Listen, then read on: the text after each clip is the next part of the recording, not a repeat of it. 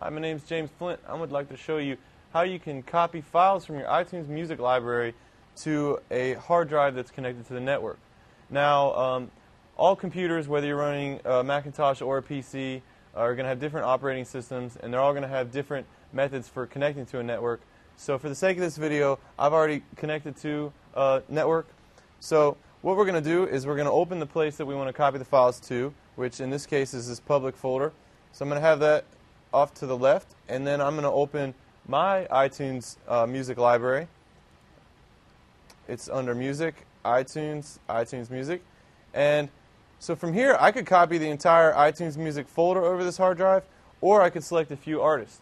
Um, for the sake of time, I'm just going to grab uh, one album here, and all you have to do is drag it over to the uh, network hard drive, and it starts copying.